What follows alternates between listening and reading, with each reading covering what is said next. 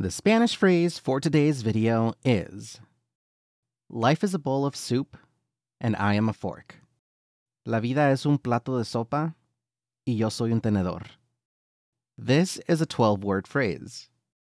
La vida es un plato de sopa y yo soy un tenedor, meaning life is a bowl of soup and I am a fork.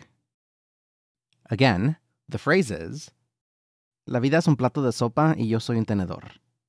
Life is a bowl of soup and I am a fork. If you learned anything today, make sure to subscribe to the channel. And as always, we'll see you guys tomorrow. Adios.